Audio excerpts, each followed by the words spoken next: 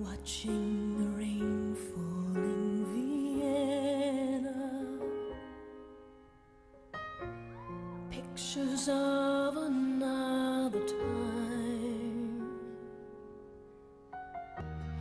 Endless nights in Vienna's eyes